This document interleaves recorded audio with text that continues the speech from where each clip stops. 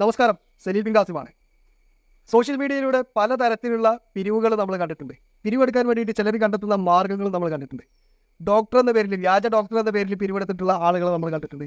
അതുപോലെ തന്നെ വ്യാജ വക്കീലന്മാരെ സോഷ്യൽ മീഡിയയിൽ ഈ വക്കീൽ എന്നുള്ള പേര് ദുരുപയോഗം ചെയ്ത് ആളുകളിൽ നിന്ന് പണം പറ്റിച്ചിട്ട് മാമുണ്ടുന്ന ആളുകൾ നമ്മൾ കണ്ടിട്ടുണ്ട്. ആ കൂട്ടത്തിലേക്ക് പുതിയൊരാൾ കൂടി വന്നിരിക്കുകയാണ്. ഡിജോ തോമസ് എന്ന് പറഞ്ഞിട്ട്. പുള്ളി വ്യാജ സയന്റിസ്റ്റ് ആണ്. അപ്പോൾ സോഷ്യൽ മീഡിയക്ക് ഒരു സയന്റിസ്റ്റ് കൂടിയായി എന്ന് വേണം നമ്മൾ പറയാൻ. അപ്പോൾ പുള്ളിയുടെ ഒരുപാട് കണ്ടുപിടുത്തങ്ങളുണ്ട്. നീലഗിരി കടുവ എന്നൊക്കെ പറഞ്ഞിട്ടുള്ള ഒരു സ്പീഷീസിനെ പുള്ളി കണ്ടെത്തിയതായിട്ടൊക്കെ ഒരുപാട് മാധ്യമങ്ങളൊക്കെ ഏറ്റെടുത്തിട്ടുണ്ട്. പക്ഷേ ഈ ശാസ്ത്രലോകം ശരിക്കും അദ്ദേഹത്തെ തിരിച്ചറിഞ്ഞിട്ടില്ല എന്ന് വേണം നമ്മൾ കരുതാൻ. അപ്പോൾ അതിനെക്കുറിച്ചിട്ടുള്ള ഒരു കാര്യങ്ങൾ അതായത് ഇദ്ദേഹത്തിന്റെ നീലഗിരി കടുവ എന്ന് പറഞ്ഞാൽ എന്താണ് ഇതിന്റെ ബാക്കി കാര്യങ്ങൾ എന്താണ് എന്നൊക്കെ അറിയാൻ വേണ്ടിയിട്ട് നമ്മുടെ കൂടെ ഒരു വ്യക്തിയുണ്ട്. നമുക്ക് അദ്ദേഹത്തെ ഒന്ന് പരിചയപ്പെടാം. നമ്മുടെ കൂടെ ഉള്ളത് അനിമൽ ആക്ടിവിസ്റ്റ് ആയിട്ടുള്ള ഏഞ്ചൽസ് നായർ എന്ന് പറയുന്ന വ്യക്തിയാണ്. അദ്ദേഹത്തെ ഈ ഒരു മൃഗ സ്നേഹികളുടെ കൂട്ടത്തിലൊക്കെ നല്ല രീതിയിൽ അറിയപ്പെടുന്ന ഒരാളാണ്. ആ കൂട്ടത്തിൽ റബലായിട്ട് ആ കൂട്ട അവരുടെ കൂട്ടത്തിലുള്ള തട്ടിപ്പുകാരെയും വെട്ടിപ്പുകാരെയും ഒക്കെ പുറത്തു കൊണ്ടുവരുന്നതിൽ മുൻപന്തിയിൽ നിൽക്കുന്ന ഒരു വ്യക്തിയാണ്. അതോടൊപ്പം തന്നെ ഈ പറയുന്ന ഡിജോ തോമസ് എന്ന് പറയുന്ന വ്യക്തി സയന്റിസ്റ്റ് എന്ന ലേബലിൽ മൃഗങ്ങളെ ഉപയോഗിച്ചിട്ട് അല്ലാന്നുണ്ടെങ്കിൽ അരിക്കൊമ്പന് വേണ്ടിയൊക്കെ വ്യാപകമായിട്ടുള്ള പിരിവുകൾ നടത്തിയിട്ട് ലക്ഷങ്ങളുടെ തട്ടിപ്പാണ് ഈ കുറഞ്ഞ ദിവസത്തിനുള്ളിൽ നടത്തിയിട്ടുള്ളത്. അദ്ദേഹത്തിന്റെ പല വാർത്തകളും പല കണ്ടെത്തലുകളും നമ്മുടെയൊക്കെ മുഖ്യധാരാ മാധ്യമങ്ങളൊക്കെ ആഘോഷിച്ചിട്ടുണ്ട്. അപ്പോൾ ആ ഒരു കണ്ടെത്തലിനൊക്കെ പുറകിലുള്ള യാഥാർത്ഥ്യങ്ങൾ എന്താണ്? സത്യാവസ്ഥ എന്താണ്? എന്നുള്ളതൊക്കെ നമുക്ക് ഏഞ്ചൽ സാറിനോട് ചോദിച്ച് മനസ്സിലാക്കാം. ഡിജോ തോമസ് കണ്ടെത്തി എന്ന് പറയപ്പെടുന്ന നീലഗിരി ടൈഗറിനെ നേരിട്ട് കണ്ടിട്ടുള്ള ഒരു വ്യക്തിയാണ് നമ്മളോടൊപ്പം ഉള്ളത് ഏഞ്ചൽസ് നായർ അദ്ദേഹം നീലഗിരി ടൈഗറിനെ കുറിച്ചിട്ട്. ആ നീലഗിരി ടൈഗർ എന്ന് പറയുന്ന ഒരു ജീവി ഉള്ളതാണ്. അത് ഈ പട്ടിയുടെ തലയും പുലിയുടെ ഉടലും കടുവയുടെ ഉടലുമായിട്ടുള്ള ജീവി തന്നെ. അത് നമ്മ നേരിട്ട് ഞാൻ കണ്ടിട്ടുണ്ട്. ഏകദേശം ഇത്ര വലിപ്പവും വരും അത്. ആ ജീവിയുടെ അത് ഒരു ചിത്രശലഭമാണ്. പക്ഷെ വളരെ വലിപ്പത്തിലുള്ള ഒരു ചിത്രശലഭമാണെന്ന് മാത്രമേ ഉള്ളൂ. അത് ഒരു ടൈഗറുമായിട്ട് യാതൊരു വിധ ബന്ധവും ഈ ഇത് ഇനി ജീവിക്കില്ല. അത് നിങ്ങൾ വൈക്കിപീഡിയയിൽ ഒന്ന് സെർച്ച് ചെയ്താൽ നിങ്ങൾക്ക് എന്നിട്ട് ഇങ്ങനെ കിട്ടും. ഒരിക്കലും അതിന് കടുവയായിട്ട് യാതൊരു ബന്ധവുമില്ല. സാർ അതിനെ നേരിട്ട് കണ്ടു നേരിട്ട് കണ്ടിട്ടുണ്ട്. ഞാൻ നേരിട്ട് കണ്ടിട്ടുണ്ട് കാരണം അതൊരു പക്ഷേ ഏതെങ്കിലും വണ്ടിയുടെ വന്ന ലോറിയിൽ നിന്ന് പറന്ന് വന്നതായിരിക്കും. ഞങ്ങൾ എന്റെ വീടിന്റെ അടുത്തുള്ള ഒരു വീട്ടിൽ വന്ന് കയറുക ചെയ്തത്. അപ്പോൾ അവർ ഒരു ചൂരക്കോട്ടയിലാണ് വെച്ചത്. അത് അത്രയ്ക്ക് വലിപ്പം ഉണ്ടായിരുന്നു അത് അപ്പൊ എന്നെ വിളിച്ച് ഇത് എന്താണെന്ന് അറിയാനായിട്ട് അപ്പോഴാണ് ഞാൻ പറഞ്ഞു ഇതാണ് ഞാൻ അപ്പോൾ ഇതുവരെ കണ്ടിട്ടില്ലാത്ത അത് സാധനമായത് കാരണം ഞാൻ പറഞ്ഞു അത് അത് ഇന്ന രീതിയാണ്. അത് കുറഞ്ഞ വെച്ച് പോകും ചെയ്തു ഞാൻ പറഞ്ഞു. പക്ഷേ അവരെനിക്ക് തന്നില്ല. ഞാൻ ഞാൻ ചോദിച്ചു അവർ പറഞ്ഞു ഞാൻ തരില്ല എന്ന് പറഞ്ഞു. അവരങ്ങനെ സൂക്ഷിക്കുക ചെയ്തായിരുന്നു ആ, ആ ജീവിയാണ് അത്. അത്ര നല്ല വലിപ്പമുണ്ട്. നമ്മൾ വിചാരിക്കുന്ന രീതിയിലല്ല ഒരു ചൂരക്കൊട്ടയുടെ ഏകദേശം മുഴുവനായിട്ട് നിൽക്കുമായിരുന്നു അത് ആ ജീവി അതുപോലെ തന്നെ ഈ ഡിജോ തോമസിന്റെ മറ്റു പല കണ്ടുപിടുത്തങ്ങളുണ്ട് പുള്ളി ഒരു ചോര കുടിക്കുന്ന ഒരു ജീവി ചോര കുടിക്കാതെ കങ്കാരു വർഗത്തിൽ നിന്ന് അതിന് പേരിട്ടിട്ടില്ല. കങ്കാരു വർഗത്തിൽ നിന്ന് അതായത് ഓസ്ട്രേലിയയിൽ ഉണ്ടായിരുന്ന കങ്കാരുമായിട്ട് സാമ്യമുള്ള ഒരു ജീവി ചോര കുടിക്കും പക്ഷേ മാംസം കഴിക്കില്ല. അത് നീലഗിരി ടൈഗർ അല്ല അത് വേറൊരു ജീവിയാണെന്ന് പറയുന്നത്. അത് സാധാരണ ഈ കോഴിക്കോടുകാർക്ക് കണ്ടിട്ട് കോഴിക്കോട് കാസർഗോഡ് അതായത് വെസ്റ്റേൺ ഗഡുമായിട്ട് ഗഡ്സുമായിട്ട് ബന്ധപ്പെട്ട ആളുകൾക്ക് ആളുകൾക്ക് ഒരു പക്ഷേ കണ്ടിട്ടുണ്ടാവും. ഈ കഴിഞ്ഞ ലോക്ക്ഡൗൺ സമയത്ത് കോഴിക്കോട് ടൗണിൽ ഇറങ്ങിയിട്ടുണ്ടായിരുന്നു. ആ ജീവിയുടെ പേര് ഇവിടെ വിളിക്കുന്നത് ഇവിടെ കോഴിക്കോട് വിളിക്കുന്നത് മെരു എന്നും പിന്നെ സദൻ സ്ഥലങ്ങളിൽ വിളിക്കുന്നത് വെരുക എന്ന് എന്ന് പറയുന്ന പറയുന്ന ഒരു ജീവിയാണ്. അതിന്റെ പേര് മലബാർ സിലക്റ്റാറ്റ എന്നാണ്. ആ ജീവി ഈ ചോര കുടിക്കുന്ന ജീവിയൊന്നും അല്ല. സാധാരണ പഴങ്ങളൊക്കെ കഴിക്കുന്ന ഒരു ജീവിയാണ്. പക്ഷേ ഇദ്ദേഹം കാണിച്ചിരിക്കുന്നത് അതിന്റെ രോമങ്ങൾ നഷ്ടപ്പെട്ടേക്കുന്ന ഫംഗസ് ഇൻഫെക്ഷൻ വന്നിരിക്കുന്ന ആ ജീവിയുടെ ജീവിയെ കാണിച്ചിട്ടാണ് ഇദ്ദേഹം പറയുന്നത് ഈ ചോര കുടിക്കുന്ന കങ്കാരു വർഗത്തിൽപ്പെട്ട ജീവിയാണെന്ന് മലബാർ സിലക്റ്റാറ്റ് എന്നാണ് അതിന്റെ പേര്.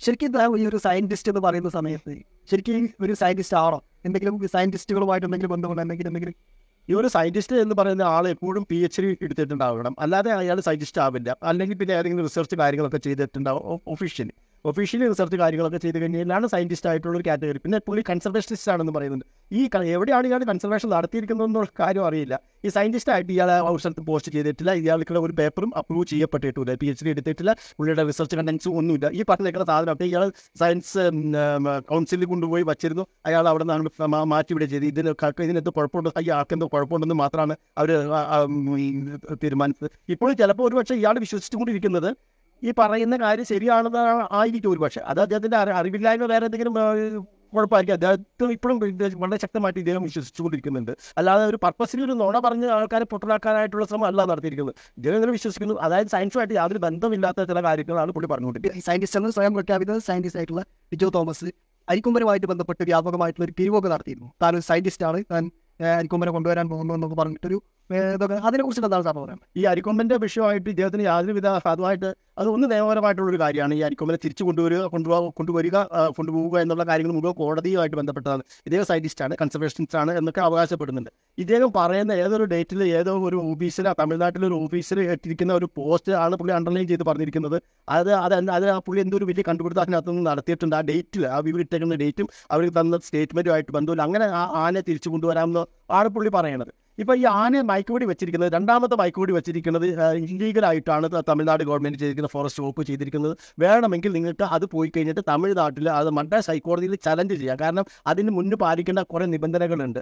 പിന്നെ ആ ആന അവിടെ ഒരു കയ്യേറ്റം നടത്തിയിട്ടില്ല. ഒരു ഒരു ആക്രമണം നടത്തിയിട്ടില്ല. അത് പർപ്പസിൽ അവർ പഴം കൊടുത്ത് ഇങ്ങോട്ട് വിളിച്ചു കൊണ്ടുവന്ന് കഴിഞ്ഞിട്ടാണ് ഇവർ മയക്കുപൊടി രണ്ട് രണ്ട് ദിവസം മൂന്ന് ദിവസം ഒരു വണ്ടി നിറയെ പഴം കൊടുത്തു കഴിഞ്ഞിട്ട് അതിനെ വിളിച്ചിറക്കി കൊണ്ടുവന്ന് കഴിഞ്ഞിട്ടാണ് ഈ ജന ജനമേഖലയിൽ ഇറക്കി എന്ന് പറഞ്ഞു കഴിഞ്ഞിട്ടാണ് വെടിവെച്ചത് അതാണ് ചോദ്യം ചെയ്യാൻ പറ്റുള്ളൂ. ആ ആകെ കിടക്കുന്ന അത് ഈ അരിക്കുമ്പം വിഷയത്തിന് ആകെ നമുക്ക് ഒരു ഒരു ചലഞ്ച് ചെയ്യാവുന്ന ഭാഗം അത് മാത്രമേ ഉള്ളൂ എന്ന് പറഞ്ഞുകൊണ്ട് ആ ഇവിടെ ഇപ്പോൾ കള്ളിക്കാട് മണ്ടത്തുറയിൽ ഇട്ടിരിക്കുന്ന ആ ആന തിരിച്ചു കൊണ്ടുവരാനായിട്ടുള്ള ഓർഡർ കിട്ടുകയില്ല. ആന അവിടെ അവിടെ നിൽക്കും. ഇവർ വേണമെങ്കിൽ വയലേഷൻസ് നടത്തി എന്നുള്ളത് നമുക്ക് പ്രൂവ് ചെയ്യാൻ പറ്റും. അതിന് വേറെ ചിലപ്പോൾ ഒരു വാണിംഗ് ആയിരിക്കും ഫോറസ്റ്റ് അതായത് തമിഴ്നാട് ഫോറസ്റ്റ് വകുപ്പിന് കൊടുക്കുന്നത് ആ കോടതി മാക്സിമം കൊടുക്കാൻ പോകുന്നത് ഒരു വാണിംഗ് ആയിരിക്കും. ഇനി മേലാൽ ഇത് ആവർത്തിക്കരുതെന്ന് മാത്രം. ഈ ആന ഒരിക്കലും അത് തിരിച്ചു വരാൻ പോകുന്നില്ല എന്നുള്ളത് നൂറ്റിക്ക് നൂറ് ശതമാനം ഉറപ്പാണ്. ആന അവിടെ തന്നെ മരിച്ചു വീഴും. ഒരു രീതിയിൽ അത് തിരിച്ചു വരാൻ പറ്റില്ലാത്ത രീതിയിലാണ് ആ മുണ്ടതറയിലേക്ക് മാറ്റിയിരിക്കുന്നത്. ഇങ്ങനെ ഒരുപാട് ആളുകൾ ഇങ്ങനെ കേസ് നടത്തുന്നു കേസിന് വേണ്ടി പോകുന്നു. അരിക്കൊമ്പൻ ഇന്ന് കൊണ്ടുവരും നാളെ കൊണ്ടുവരും എന്നൊക്കെ പറഞ്ഞിട്ട് പല രീതിയിലുള്ള പണപ്പിരിവുകളാണ്. ശരിക്കും ഇപ്പോൾ അരിക്കൊമ്പനുമായിട്ട് ബന്ധപ്പെട്ട് ആധികാരികമായിട്ട് കോടതിയിൽ നിലനിൽക്കുന്ന കേസുകൾ ഏതൊക്കെയാണ് ആരൊക്കെയാണ് അത് കൊടുത്തിട്ടുള്ളത്?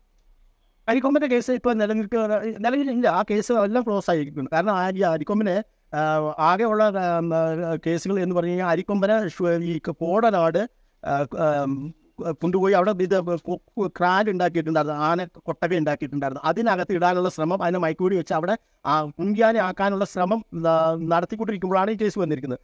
അത് ഇവിടെ ട്യൂഷൻ ബെഞ്ചിൽ ജയശങ്കരൻ നമ്പ്യാരിന്റെ ഗോപിനാഥിന്റെ മുമ്പിലാണ്. അത് അവർ സൂമോട്ടോ ആയിട്ട് എടുത്തിരുന്നത് അത് വെടിവെക്കരുത് അതായത് ഒരു ദിവസം രാത്രി മാർച്ച് ഇരുപത്തി മൂന്ന് രാത്രിയാണ് അവർ എടുത്തിരിക്കുന്ന സൂമോട്ടോ അത് അഡ്വക്കേറ്റ് ബാലു തിലക് എന്ന് പറയുന്ന ആളെ കൊണ്ട് അന്നൊരു ആപ്ലിക്കേഷൻ വൈപ്പിക്കുകയും ചെയ്തത് അതിനകത്താണ് ആ മൈക്ക് മൈക്കൂടി വെക്കേണ്ട ഇങ്ങനെ ട്രാൻസ്ലൊക്കേറ്റ് ചെയ്യാനായിട്ടുള്ള ഓർഡർ കൊടുത്തു. അത് അവിടെ തീർന്നു. ഇനി അവിടെ ഒരു കേസ് നിലനിൽക്കുന്നില്ല. ഈ അരിക്കൊമ്പനുമായിട്ടുള്ള വിഷയങ്ങളിൽ ഒരു കേസ് നിലനിൽക്കുന്നില്ല. ഇനി പുതിയ ഏതെങ്കിലും കേസ് ഇപ്പോൾ രണ്ട് പേർക്ക് പോസ്റ്റ് അടപ്പിച്ചിരുന്നു പക്ഷേ മാപ്പ് കൊടുത്ത് അവർ പിന്മാ മാറുകയാണ് മാറുക ചെയ്തത്. ബാക്കി ഇപ്പോൾ വീണ്ടും ഒരു ഇംപ്ലീഡ് പെറ്റീഷൻ അവിടെ വന്നിട്ടുണ്ടായിരുന്നു ഈ ജസ്റ്റിസ് ഗോപിനാഥന്റെയും ജസ്റ്റിസ് ജയശങ്കർ നമ്പ്യാരുടെ. അത് അങ്ങനെ തന്നെ കളഞ്ഞു അരിക്കൊമ്പം വിഷയം ഇവിടെ തീർന്നു. ഇതിന് ഇതിന് മുകളിൽ വേറെ കേസില്ല എന്ന് പറഞ്ഞിട്ടുണ്ടായിരുന്നു. ഹൈക്കോടതി ഡിവിഷൻ ബെഞ്ചാണ്. അത് ഇനി സുപ്രീം കോടതിയിലേക്കും പറഞ്ഞിട്ടുണ്ട്. ഇനി മേലാൽ ഇതുമായിട്ട് വരരുത് എന്ന് പറഞ്ഞിട്ടാണ് അവിടെ പോസ്റ്റ് അടപ്പിച്ചേർന്നത് ഇരുപത്തയ്യായിരം രൂപ അത് മാപ്പം പറഞ്ഞ് ഒഴിവാക്കി. ഇവിടെ കിറ്റക്സ് സാബു ജോസഫ് ആ, അയാ അയാൾക്ക് ഇവിടെ കോസ്റ്റ് അടപ്പിച്ചിട്ടുണ്ടായിരുന്നു. അത് മാപ്പ് പറഞ്ഞ് ഒഴിവാക്കി. ഇനി ആരവിടെ ചെന്ന് കഴിഞ്ഞാലും പോസ്റ്റ് അടപ്പിക്കും. അത് എത്ര ആണെന്ന് പറയാൻ പറ്റില്ല. ഇനി അവർ ചെന്ന് കഴിഞ്ഞാൽ ഒരു ലക്ഷത്തിൽ കൂടുതലായിരിക്കും കോസ്റ്റ് അടപ്പിക്കുന്നത്. ആർക്ക് ചെയ്യാൻ പറ്റില്ല. അപ്പോൾ ഇനി ശരിക്കൊരു ഒരു ഇങ്ങനെയുള്ള ഒരു വിഷയവുമായിട്ട് ബന്ധപ്പെട്ട് ഒരു കോടതിയിൽ സ്വാഭാവികമായിട്ട് ഒരു ഹർജി സമർപ്പിക്കാൻ വേണ്ടിയിട്ട് ഏകദേശം എത്ര രൂപയുടെ ചെലവ് വരും? ഇപ്പോൾ ഞാൻ ഹർജി ഞാൻ പതിനഞ്ച് ഹർജി ഞാൻ വെച്ചിട്ടുണ്ട്. ഇതേവരെ ഒരു ഹർജി വെക്കാനായിട്ട് ഇപ്പോൾ നമ്മൾ അഡ്വക്കേറ്റിന് കാശ് കൊടുത്തു കഴിയുമ്പോൾ ഒരു നല്ല ചിലവ് വരും. കാരണം ചില്ലറ പണിയൊന്നുമില്ല. ഒരു ഹർജി വെക്കുക എന്ന് പറഞ്ഞു കഴിഞ്ഞാൽ കാര്യം ചെയ്ത് നമ്മുടെ രണ്ട് മൂന്ന് പോയിന്റ് ഉള്ളെങ്കിലും അതിന്റെ അത് നമ്മൾ എഴുതി തയ്യാറാക്കി അതിന്റെ statement of facts grounds relief petition എന്നൊക്കെ പറഞ്ഞുകൊണ്ട് ഒരു സാധാരണ ഒരു പെറ്റീഷൻ തന്നെ വന്നു കഴിയുമ്പോഴത്തെ ചെറുത് ഒരു പത്ത് പതിനഞ്ചോ പേജ് ഉണ്ടാവും. ഇത് മുഴുവൻ ഇതിന്റെ കോപ്പികൾ ഡിസ്ട്രിബ്യൂട്ട് ചെയ്യണം. അത് ഇതിന്റെ ഇതിന്റെ അഡ്വക്കേറ്റിന് ചിലവുണ്ട് ക്ലർക്കിന് കാശ് ചിലവുണ്ട്. അത് അഡ്വക്കേറ്റ്സ് അത് ഓരോ അഡ്വക്കേറ്റ്സ് ജൂനിയർ ആണെന്നുണ്ടെങ്കിൽ സീനിയർ ആണെന്നുണ്ടെങ്കിൽ അതിന്റേതായിട്ടുള്ള കാശ് വാങ്ങും. എനിക്ക് സാധാരണ രീതിയിൽ സബ്മിറ്റ് ചെയ്യാൻ അയ്യായിരത്തോളം രൂപ എനിക്ക് ചിലവുണ്ടാവാറുണ്ട്. അയ്യായിരം അയ്യായിരത്തോളം രൂപ എനിക്ക് ചിലവ് വരാറുണ്ട്. ഇതിന്റെ എഴുതി തയ്യാറാക്കി ടൈപ്പ് ചെയ്തൊക്കെ വരുമ്പോൾ പിന്നെ ഇപ്പോൾ നമ്മൾ അപ്പിയർ ചെയ്യണേൽ അപ്പിയർ ചെയ്യുന്നതിനാണ് എനിക്ക് ഓരോ അപ്പിയറൻസിന് അഞ്ഞൂറ് രൂപയോളം ചിലവ് വരും.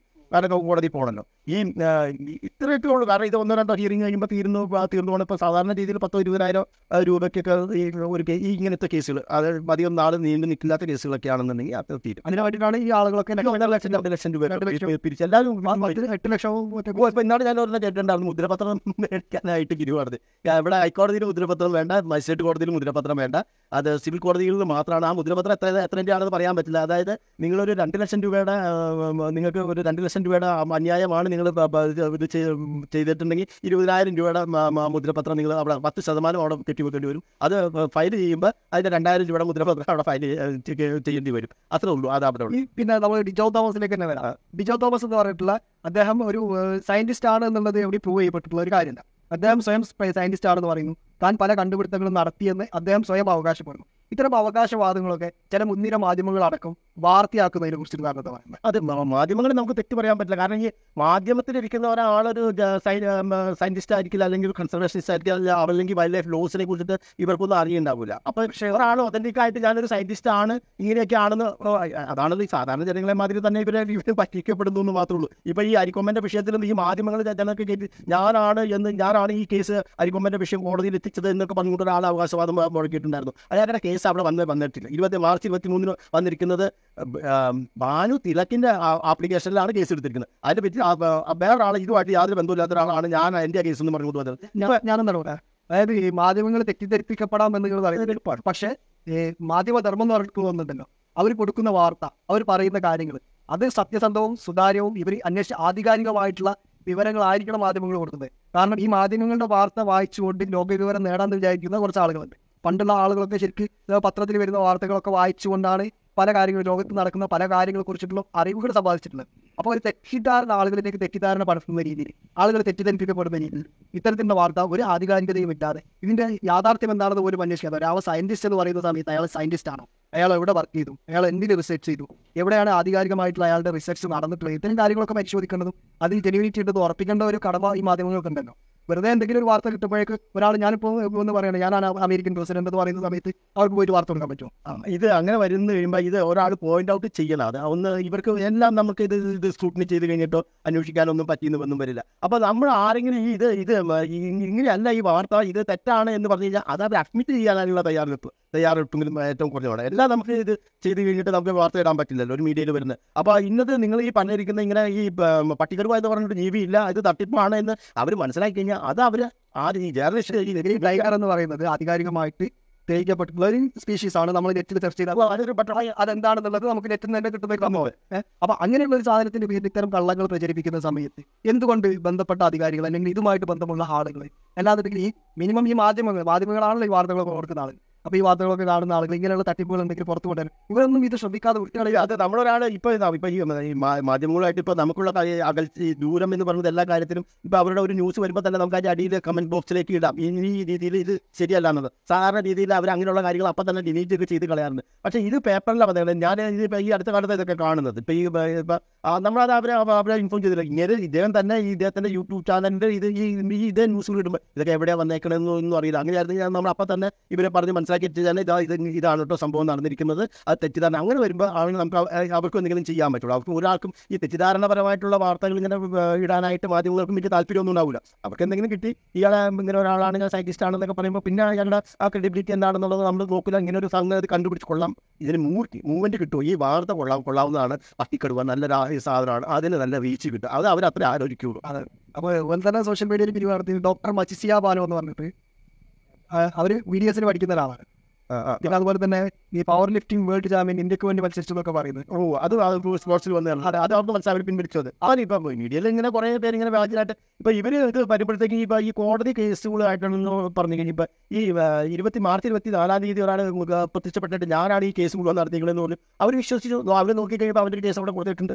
അപ്പോൾ ഈ അവർ ഇപ്പൊ ഞാനിത് പറഞ്ഞു കഴിയുമ്പോൾ അത് കോടതിയായിട്ട് അല്ലെങ്കിൽ ഹൈക്കോടതി ഹൈക്കോടതിയായിട്ട് മാത്രം ബന്ധപ്പെട്ടവർക്കാണ് ഇത് വ്യാജ് ഇവരല്ല എന്നുള്ള കാര്യം മനസ്സിലാവും ഹൈക്കോടതിയിൽ അതുകൊണ്ട് തന്നെ അവിടുന്ന് അവിടെ നിന്ന് റിപ്പോർട്ടർമാർ പെട്ടെന്ന് അവർക്ക് മനസ്സിലായി. അവിടുത്തെ കാരണം ഹൈക്കോടതിയിലെ മീഡിയ റിപ്പോർട്ടർമാർ എപ്പോഴും എല്ലാം തന്നെ അഡ്വക്കേറ്റ്സ് തരും അവർക്ക് ഈ ആദ്യത്തെ ന്യൂസ് പോയി കഴിഞ്ഞപ്പോൾ തന്നെ ഈ ഈ അബദ്ധം മനസ്സിലായി. അവർ പിന്നെ അത് ഞങ്ങൾക്ക് തെറ്റുപറ്റി എന്നുള്ള കാര്യം പറയാതിരിക്കാൻ വേണ്ടിയിട്ട് അവർ പിന്നെ അത് റിപ്പീറ്റ് ചെയ്തില്ല അതുപോലെ തന്നെ ഈ ഒരു വെരുക എന്ന് പറഞ്ഞിട്ടുണ്ട് അത് ഇയാൾ കാണിച്ചത് ഒരു എന്താണ് അത് ഇരു ചെറിയ വ്യത്യാസം തന്നെ ശരിക്കുള്ള വായിട്ട് ഇയാൾ കാണിച്ചതായിട്ട് വ്യത്യാസമല്ല അതുകൊണ്ടാണ് അതാണ് അപ്പം എനിക്ക് സംശയം വന്നിരുന്നത് അതിന്റെ ചെവി ചെവി മാത്രം വലിപ്പം കൂടുതലുണ്ട്. പിന്നെ അതാ ഈ വീഡിയോ എടുത്തിരിക്കുന്ന അതിന്റെ അടിയിൽ നിന്നൊക്കെ എടുത്ത് ഈ ചെവിയുടെ വലിപ്പം കുറച്ച് കൂടിയതായിട്ട് തോന്നും. പക്ഷേ ഈ നമ്മൾ തല മൊത്തം അടിച്ച് കഴിഞ്ഞിട്ട് പിന്നെ ഞാനത് ഒരു കൺസർവേഷനിസ്റ്റ് ആയിട്ട് ചോദിച്ചു ഇത് എന്താ ചെവി മാത്രം ഇങ്ങനെ വലിപ്പം കൂടുതലായിട്ട് തോന്നുന്നുണ്ട് എനിക്ക്.